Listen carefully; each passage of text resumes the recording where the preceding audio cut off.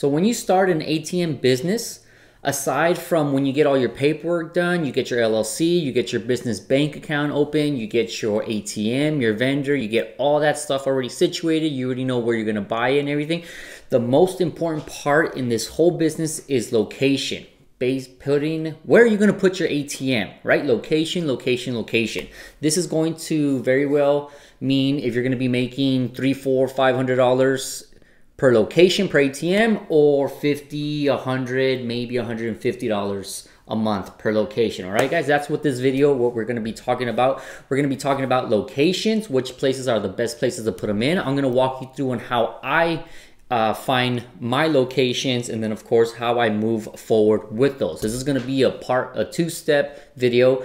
The first one, which is to be this video, we're to be talking about how to find locations, how to narrow them down, and then after that, once we start finding our locations, we're to start either calling, walking in, and then on the second video, I'm to show you how I talk to them, right? Whether it's to be over the phone, where it's to be in person, where it's to be email, whatever. I'm to be explaining to you what you should say, how you should say it. If you guys are brand new to this channel, I got a, a whole course, full step-by-step course from A to Z on here. Subscribe, it's in the pay playlist so you can get notified on every little detail here. Let's go ahead and get into this video. So when finding locations, right? the best places to put them in. What are the best places to put them in? So first of all, you want to put them in places that have businesses that have cash only, right? Obviously, those businesses operating with only cash. So of course, an ATM makes sense where they're going to be using it frequently. Another place is going to be if you have high foot traffic, people that come in and out. There's a bunch of people that come and pass by that ATM. It's going to get used, right? Those are the good and best places you're going to be um, you're going to be searching for locations, okay? So a couple places that I've done, that I've put them in, that I've experimented is you want to put them in barbershops, okay? Barbershops, especially if they're cash only barbershops, are going to do really well. You want to put them in convenience stores, right? Gas stations, convenience stores, even if they don't sell gas. That's a high foot traffic uh, area where people are coming in and out, whether they get some gas, to get some candy, cokes, whatever. People are always going to need money, right? That's a good place as well. You want to put them in dispensaries, right? Marijuana dispensaries. That's always also a really good place because a lot of those places do operate only in cash only places, and of course, it's getting, it's becoming more popular and more um, frequent um, every time, um, pretty much day to day. Okay, best places. Also, nail salons. You want to put them in, if you can get them in a strip club, obviously that is pretty much like the gold mine, right? That is where our goal is. That's where you're going to be making your money. So, of course, if you try to get them in strip clubs, also in one of those places, all right, guys? Those are basically the best places that you want to put them in um, to have high traffic, cash only, to be making decent, good money per ATM um, every month, all right, guys? So let's go ahead and jump into this computer right here. I'm gonna show you how I look from. There's two ways that I generally do it. I could either um, call people, right? Be at my home calling people. There's all pros and cons. Or I could actually walk in to that business and talk to the owner straight in, right? There's pros and cons on both of these. The first one is going to be um, at home calling on the phone, okay? I do this a lot more because for one, I could actually call and go through a lot more businesses quicker than if I was actually to drive to every business, getting in and out, wasting more time, right? So that is a pro on calling people. The con or the bad way on the whole calling people on over the phone is that business owner doesn't really know how you look like. They can't get your vibe. They don't see that you're going to be a good fit, right? You don't really connect with him over the phone, all right? But of course, you can actually run through a lot more businesses and um, get some more information. Now, if you actually go and walk into a business, which is number two, right? Of course, it's going to take a lot more time because you're going to have to get in your car, get in the business, walk in, speak, whatever, go out, go to the next one, right? So you actually do not cover as much um, ground or much businesses compared to the phone. But over here on this side, you could actually talk to the owner, right? You could speak with him one on one. You can actually grab his vibe. He can grab you, see how you are. Maybe you guys have a good fit. He he kind of sees you. He understands you. You could actually bring some information where he could physically see, right? Those are two ways. I've been having a lot more success over the phone because I can actually do a lot more traffic. A lot of these actual businesses, they either have ATMs, they don't want to deal with that, and they just kind of hang up. That's just pretty much the name of the game, rejection, okay? So I like to do it. That's what I'm gonna, what's what we're gonna talk about in this video here. How I find businesses in my local area and I basically call them up, all right guys? So let's go ahead and do that. Jump into this computer. So first place that I like to go to is going to be a couple places. I like to go to Yelp, yelp.com, okay? Pretty much is this where you can actually pick up businesses. The next one is gonna be Google.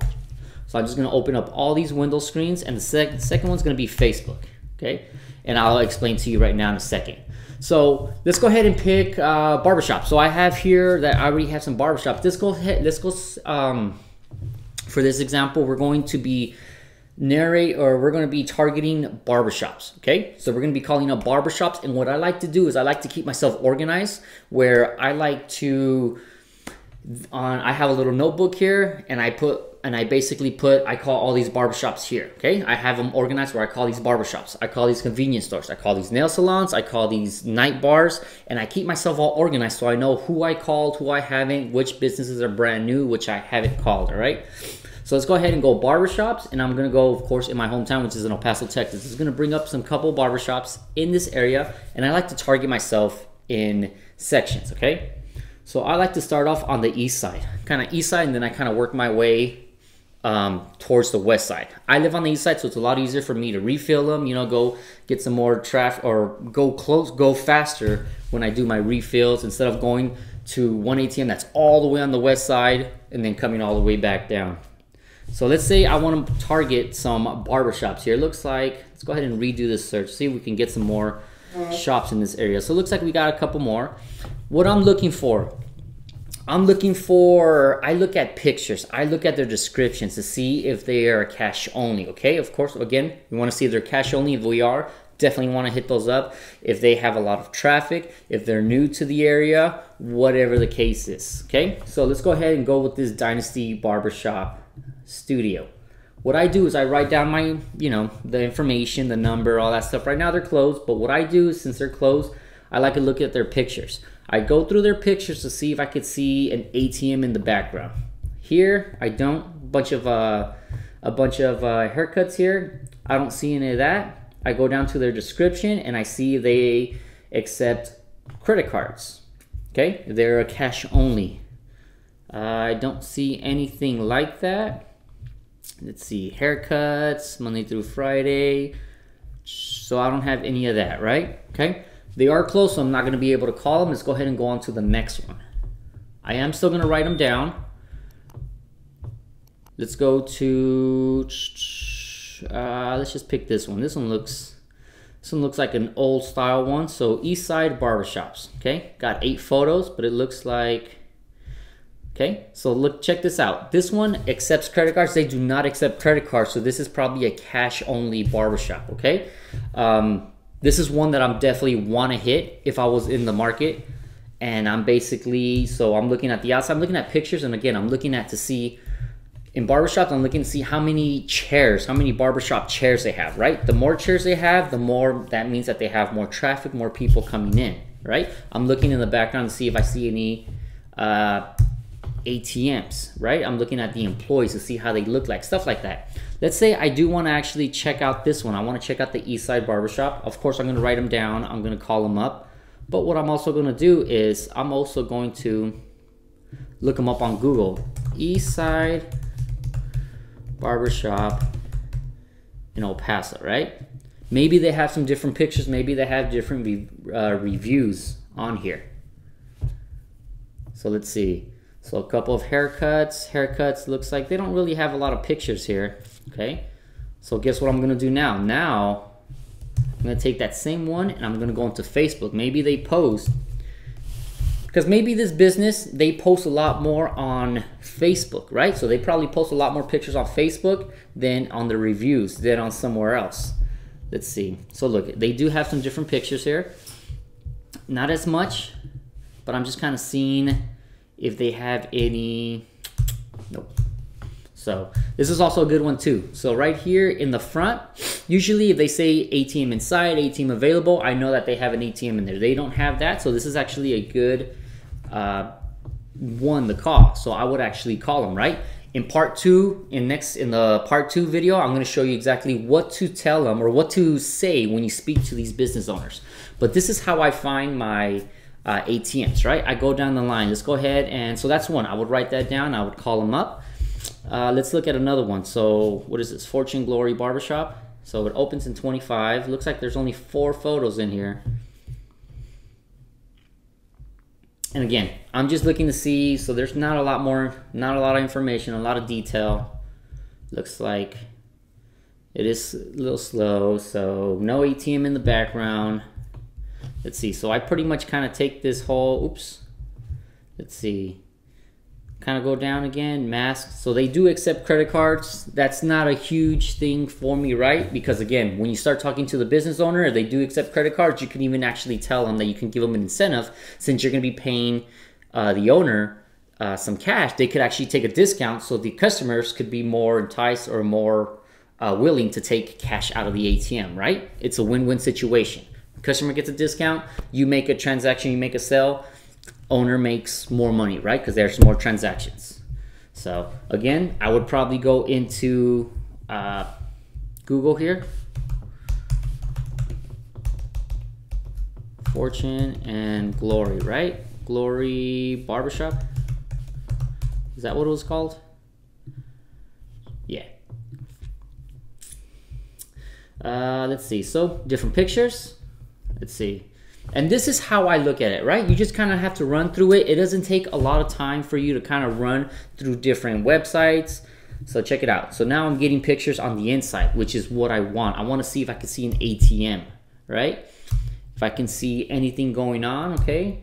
Let's see. So just haircuts, haircuts. Again, I'm looking in the background no ATM. I'm looking to see if they have the front window that shows ATM, nothing going on. But I'm starting to get more pictures. I'm starting to get a bigger vibe to see how many chairs. If there's one or two, three chairs, or maybe 10. Okay, so it looks like it's an outside. Looks like we have a little, and this is also a good one too, because people go and get their haircuts. It looks like there's like a little restaurant, little bar there. You know, they can use some money. Definitely another one that I want to call and kind of see. So of course I'll write them down and I'll go on to the next one.